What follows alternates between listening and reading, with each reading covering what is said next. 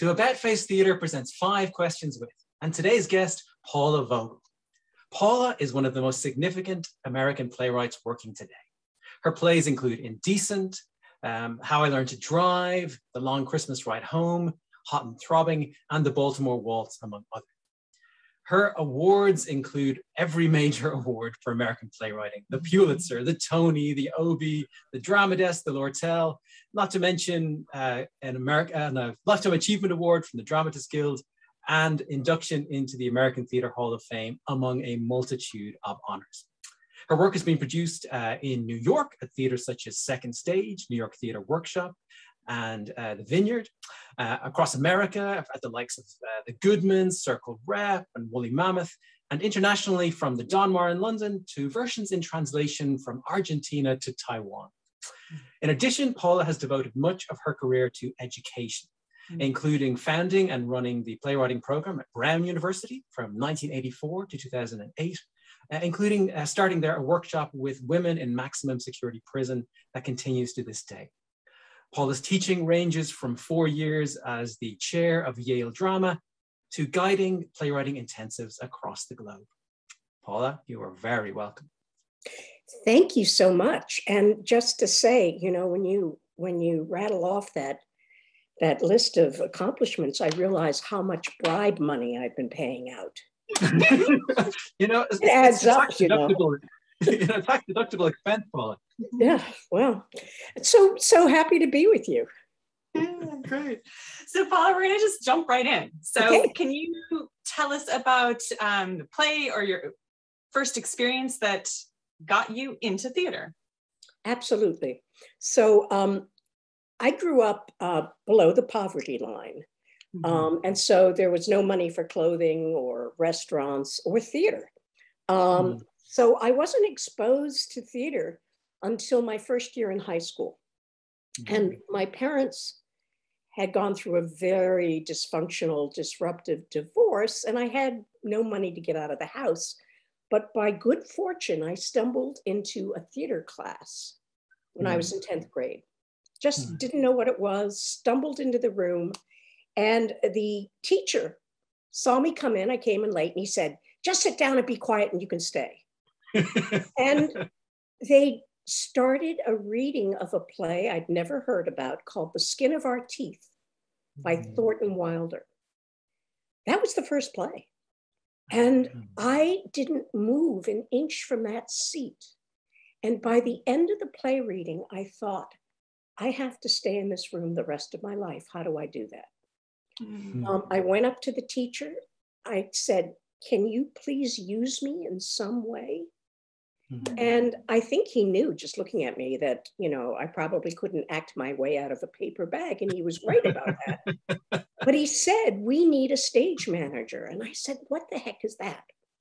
so at age whatever it was, 13 or 14, I became the stage manager for all of the shows that we did in high school.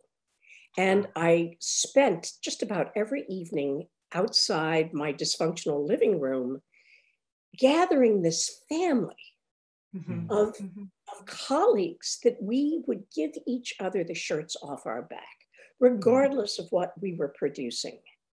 It mm-hmm. was this notion of us together as a collective that mm-hmm. actually gave me tools to survive a public, a large public high school, right? Mm-hmm. So, you know, we did everything from the sound of music to Edward Albee to just, you know, really interesting work. Um, mm. It was a bro- broad spectrum. And I tried to get into, uh, uh, we had no money for college. I, I tried to get into theater school, but back then you could only get into theater school were you an actress. Mm. Using that word, actress. Mm. No thought of women my age back then being playwrights, certainly not being directors. Mm. Um, so I kind of, try, it took me many, many years to figure out mm. how to keep in the room. And mm. that's, that's sort of how I began. Mm. Beautiful. Amazing. Fantastic. Okay, Paula. So uh, you're talking there about the influence of uh, Skin of Our Teeth in that in that first room. But what's what's a great play that you love and why? I'm going to tell you something that um, I've just started an initiative hmm. uh, because I've been working with brilliant playwrights for the last 40 years. Mm. And my favorite playwrights, when I when I say their names, may not be known. Mm. Yes, five of my former students have won the Pulitzer Prize. That's true. Mm. But I'm talking about working with nine or 10 writers a year for 40 years. Mm. So many of the brilliant writers that I love hmm. are not known. They do hmm. not get produced. They either leave the field, go into television writing, make money, mm-hmm. or they go back hmm. to law school. And I have to tell you, it's an excruciating pain. It's bad enough when your own work takes a long, long time to get on. But when you see a talented 30 year old or 25 year old who is lighting the world on fire, to mm-hmm. watch them languish has been hell. Mm. I have many, many favorite plays. My favorite play right now is a play mm. called Good Goods by. Christina Anderson. Christina Anderson um, has written a bit for television. She is uh, writing the book right now on a Broadway bound musical, but she's in her late 30s. And if you ask me, I would say Christina Anderson is writing plays every bit as vital and important as August Wilson. Mm-hmm. And she has a complete canon that makes mm-hmm. us look at race and gender and history in a hmm. remarkable way. So, what I'm finding about the American theater is that the plays that I love in some way face censorship. Mm-hmm. It's a hmm. benign censorship by theater companies deciding what will we produce? Where does the money go? Most of the writers that I think are brilliant are given stage readings and workshops. Yeah. This is hideous. Mm-hmm. And this is the world we live with. So I'm just shouting this out there. Good mm-hmm. Goods, written by Christina Anderson. Um, I have gone from theater to theater company with this script and many scripts, any script by Christina Anderson. And, mm-hmm. you know, she is an African American queer writer. Mm. How many ways can we find to erase mm. the identities that we desperately need to put on our stages? Um, by the way, she wrote the play as something I call a bake off, something I've been doing for 40 years. In every mm-hmm. workshop, with directors and writers, and also with community members. Uh, I, I, did this with uh, a group of 100 veterans uh, two weeks ago. We get in the room, we do some short exercises, and then we all write the same play in 48 hours. So I'll give a list of ingredients like, okay, we're going to write the St. Joan Bake Off. Your play must have, and you must write it in 48 hours, a girl in a field, convincing mm. higher authority, a visitation of an angel, a philosophical defense of cross dressing, and a match. Well, Christina Anderson wrote the first act of Good Goods in 48 hours on my uh, possession bake off, based on the Dybbuk and based on horror movies where one's body is taken over by the oh. undead. And I came up with a list of ingredients. She stumbled in with that first act in 48 hours, and all of us, there were 25 of us around the table, we stopped breathing we turned on her en masse and said, When can you finish this play? Now, here's the thing I don't want to go on. I'm turning 70. I don't want to go on in my life. Mm-hmm.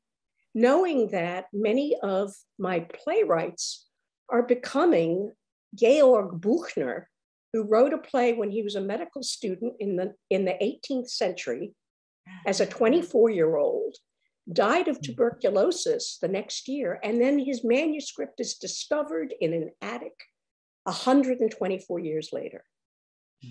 Shame on us. Hmm. Later, perhaps I'll, I'll tell you uh, what we've started to try and address this hmm. problem. I love it. That sounds great. yeah. Yeah. So, I mean, you talked a little bit there about you know something that um, is surprising right these great plays that don't actually get produced. But can you tell us anything about um, something in your theater life uh, that turned out differently than you expected it to? Uh, I wrote a, a, little play in two weeks. I I made a list of elements, just like any bake-off, mm. and I actually gave that list of elements to my graduate writers after I'd finished the play in two weeks. And the play I wrote because another play that I was supposed to write fell through. I'd mm. gotten this residency. I ended up in Alaska. Everyone lined up to greet me on the plane, and they said, Where's Cherry Jones? I was going to write a play for her about a castrato by the name of Farinelli, done all the research for two years. At the last mo- moment, Cherry got this great role on Broadway that made her career um, in The Heiress that won her a Tony Award. So I showed up and everyone's like, Where's Cherry? And I'm like, I think I have another idea for a play. Let's not panic.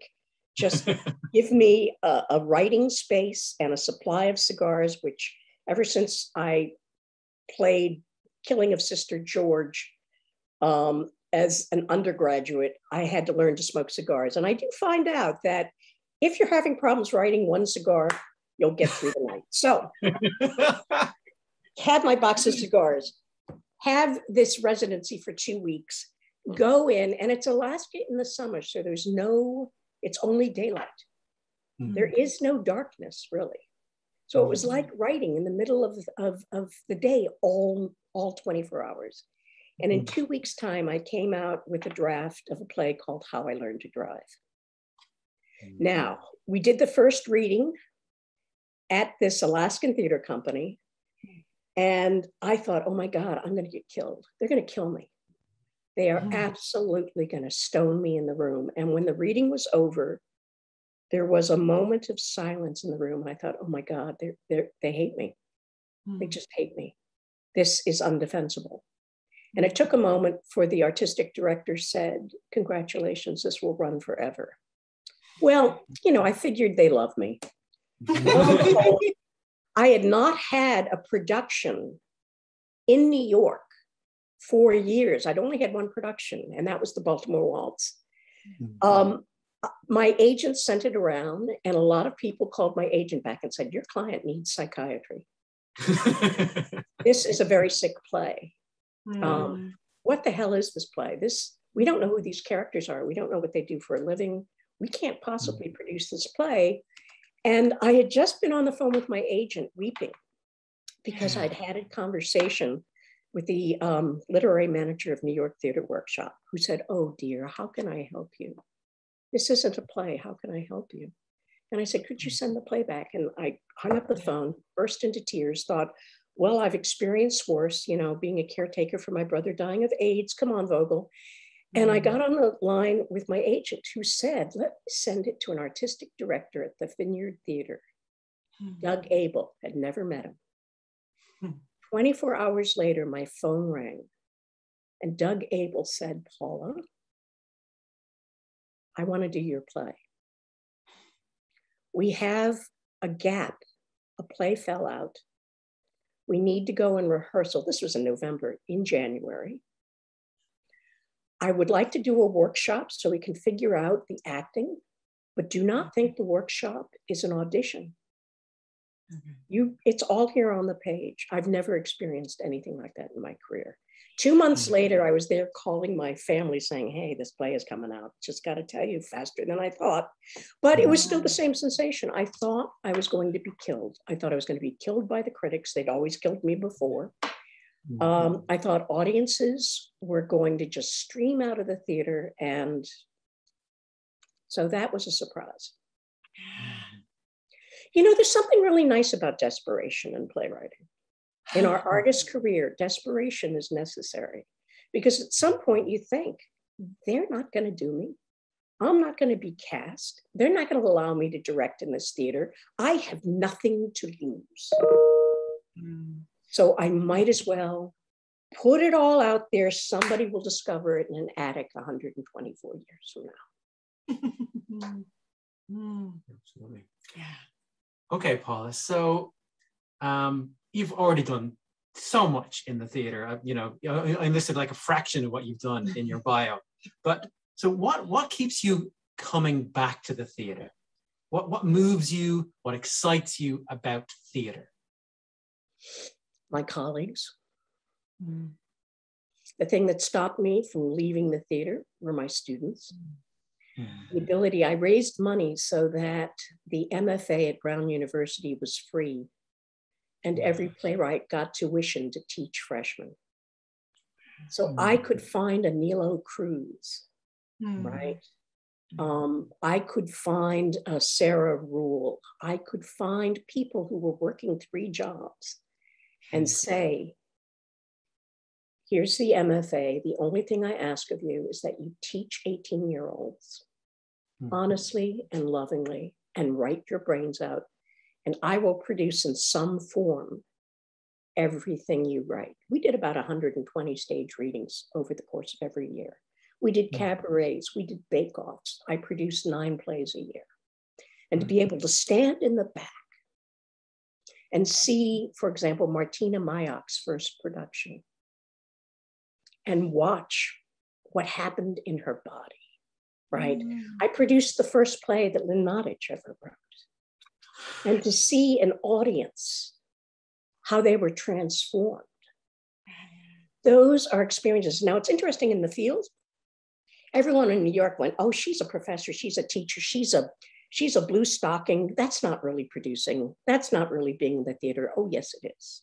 Oh, yeah. That is silly and stupid. The fact that I know plays work on $200, which was what everyone's budget was, with student and community actors in a two week uh, rehearsal period. Shame on you, Lincoln Center, if you can't produce this play on $300,000. Shame on you. I know it works.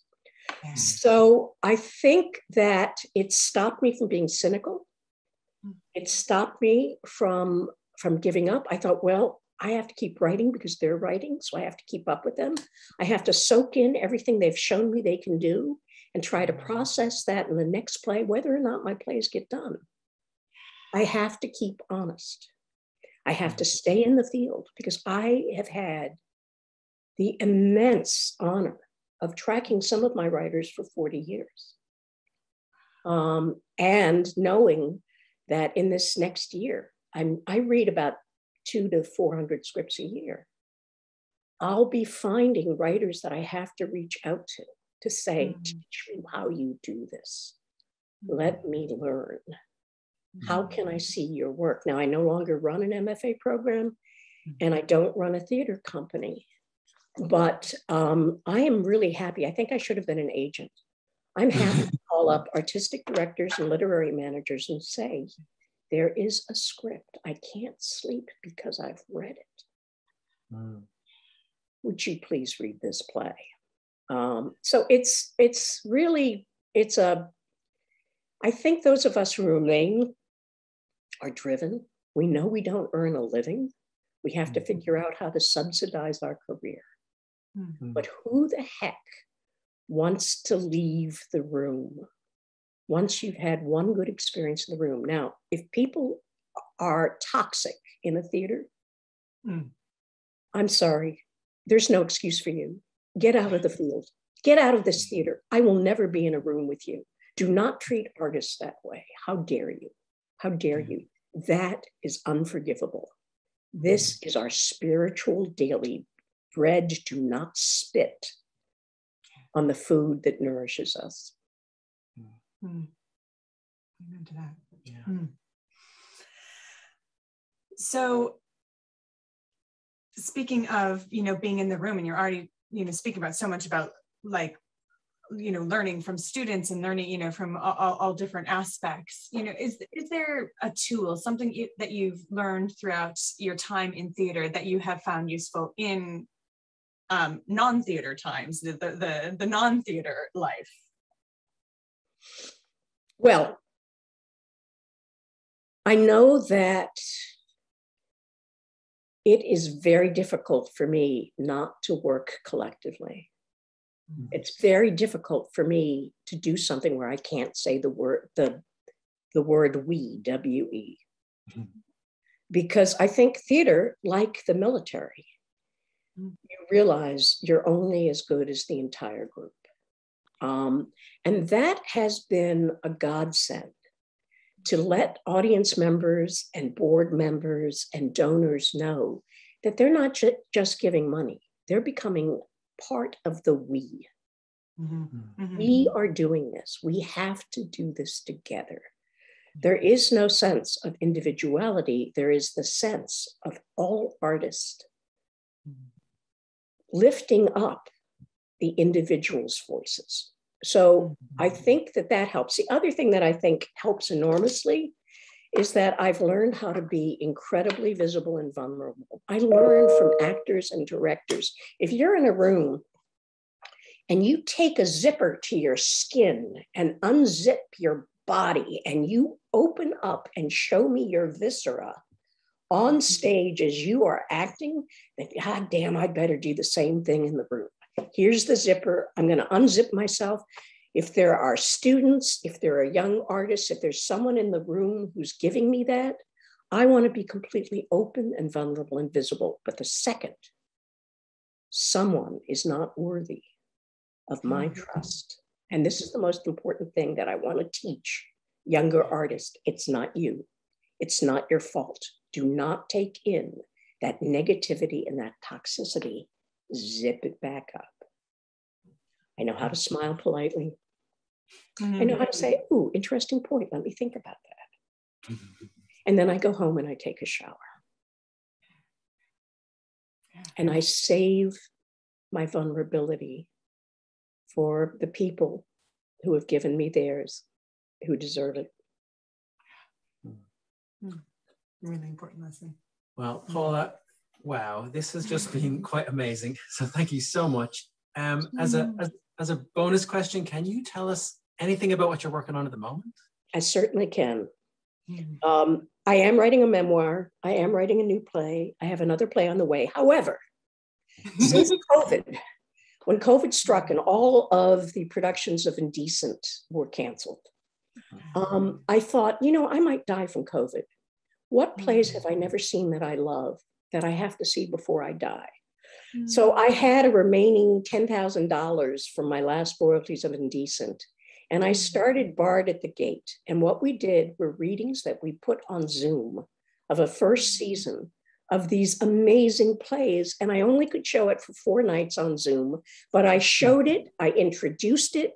Um, actors and directors, you know, for car fare gave me 20 hours and we got 11,000 viewers.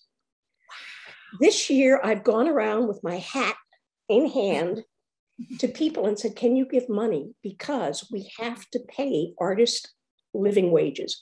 Every penny that I've earned is going into wages for the artists, the stage managers, uh, the producers, the uh, video artists who are editing. And we have just released a play that has not been produced, and I am outraged because it is brilliant and dangerous and gorgeous written by an African American woman, Zakiyyah Alexander. Now, we have to charge for tickets, but the first night will always, always be free. Last night was our first night. Mm. Uh, How to Raise a Freeman, you can watch it at www.mccarter.org slash bard. Name of the series is Bard at the Gate. This play is How to Raise a Freeman. Next is a play by the incredible Jose Rivera, mm-hmm. sonnets for an old century that has not been produced in New York. Mm-hmm. After that, Lusa, Lloyd Suh, who wrote The Chinese Lady, we're doing his Charlie Chan detective play that is wild and hysterical and crazy. And then lastly, uh, a British playwright who is now emigrated to America, who I describe as a 21st century Caryl Churchill. Mm. Dipika Guha. Why the hell is she not done in every theater? Mm. In, in London, in Britain? Mm. I have no idea. She wrote a gorgeous play called Passing. So if you go online to www, you want to see something different. By the way, Kwame, um, I've lost touch since he left center stage, but boy, I would love Kwame. I have to figure out a way how to send How to Raise a Freeman to him.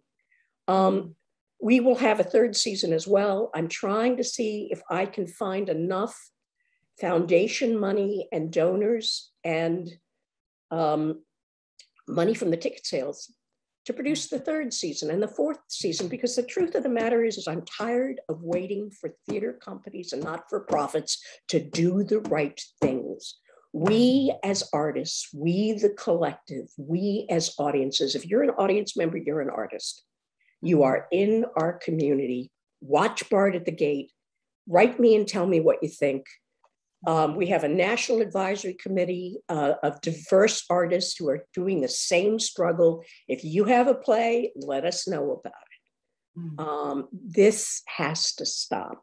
Um, so uh, it's with great joy and pleasure that I tell you we just launched our first play, How to Raise a Freeman. It's extraordinary. Please go watch it. Please, please, please. So, and, and the writing's on the side. Oh, Pardon? sorry, go ahead. It's available worldwide. It's available whenever you have the time to watch it. For the entire season, these four plays will start to run in repertory. And actually, we're trying to figure out a platform. All of the money goes into the artist's salary. I'm not interested in monetizing other artists' work, you know? So, what if we actually do what not for profits are supposed to do? Pay your staff, pay your artists. we don't have to pay for bricks and mortars.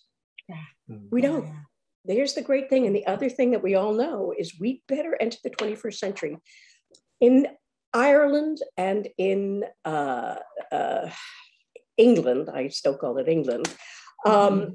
and in Germany, mm-hmm. theater is much, much further along than the capitalist United States. Mm-hmm. We must release our archives. It must be accessible to school children. It should be mm-hmm. accessible at any point that you want to watch it. I think the ability to watch theater in your schools, libraries, and living rooms increases the demand to see live theater. Mm-hmm. Instead of acting in this proprietary way. Mm-hmm. Yes, this is mine, my precious. Um, let's stop. Let's stop producing as Gollums and just mm. give the ring away, you know? Anyway, mm. here we are. Oh. Thank you for your questions. I love it. Oh, thank you. Thank you for your answer. It's such a delight to have you. Oh, I'm I'm always excited to talk to artists and listen. Mm-hmm. I just know that About Face will flourish. Um, we're we're going through this interesting challenge, but it makes it even more precious yeah, that you produce. Absolutely. Yeah. Mm-hmm. Absolutely. Thank you. And thank you to the audience for joining us as well. Um, if you enjoyed the interview, please like below and follow About Face and share because we believe theater makes life better. See you next time on About Face Theater presents Five Questions With. If you've enjoyed this video, please subscribe to us on YouTube, like us on Facebook, and share. Thanks for watching.